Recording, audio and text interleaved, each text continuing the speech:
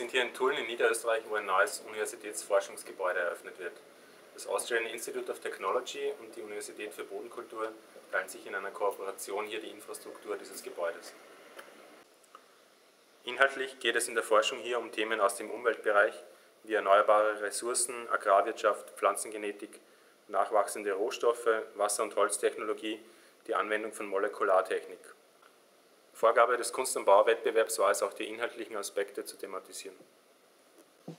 Die Arbeit hier besteht aus drei Teilen, den drei großformatigen Zeichnungen Lost in Translation im Foyer, der Take-Away-Skulptur in der Halle und der großen Menschenleiter auf Leinwand gegenüber dem Panoramalift.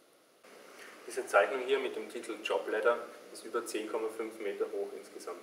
Ein Panoramalift führt hier drei Stockwerke nach oben. Ursprünglich hatte er außer einer kahlen weißen Wand nicht viel Panorama anzubieten. Ich wollte diese körperlich spürbare vertikale Aufwärtsbewegung auch direkt in einer Arbeit umsetzen. Die passive Erfahrung des Bewegtwerdens aufnehmen und quasi ähm, in einen geistigen Prozess transformieren.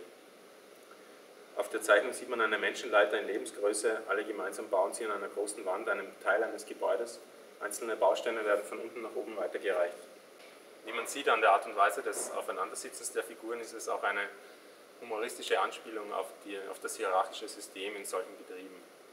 Die Forscher, die hier arbeiten, können nun jeden Morgen, wenn sie hier reinkommen, mit dem Aufzug die Karriereleiter hochfahren, den ganzen Tag hier arbeiten und auf dem Weg nach Hause werden sie sozusagen auch wieder auf den Boden der Tatsachen geholt, indem sie denselben Weg mit dem Lift auch wieder runternehmen. Unterwegs in der 10-Sekunden-Fahrt kann man sich dann überlegen, was der Tag wohl so mit sich gebracht hat und inwieweit man selbst dann in diesem System sozusagen aufgehoben ist.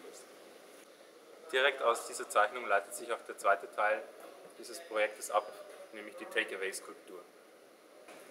Die Skulptur hier im Foyer besteht aus 400 einzelnen Bausteinen, Ziegelsteine, die einzeln handgefertigt sind, aus Keramik, schwarz glasiert wurden, auf der Rückseite jeweils als Editionsexemplar gekennzeichnet, signiert und nummeriert. Jeder Mitarbeiter des Universitätsforschungszentrums Tulln erhält ein Originalzertifikat, auf das er dann die entsprechende Editionsnummer eintragen kann. Die große Skulptur im Foyer wird im Laufe der nächsten Wochen komplett verschwinden und sich in Einzelteilen über das Gebäude verteilen. Die Forscher eignen sich die Kunst quasi an. Der repräsentative, repräsentative Teil im öffentlichen Foyer wird zerstört und, und das Kunstwerk in seinen Teilen wiederum privatisiert. Im individuellen Raum bleibt etwas, das an die Kooperation und Kommunikation erinnert. Die leere Palette wird danach neben der Dokumentation der Arbeit an die Wand gehängt. Im Foyer gibt es drei Zeichnungen mit dem Titel Lost in Translation. Das verbindende Element zwischen den einzelnen Segmenten ist die Darstellung eines Waldes als Kulturlandschaft, so wie sie bei uns als Projektionsfläche einer Natur gesehen wird.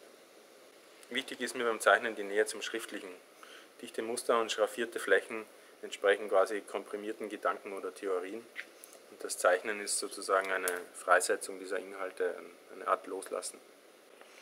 Bei der Arbeit hier geht es um diesen Übersetzungsprozess.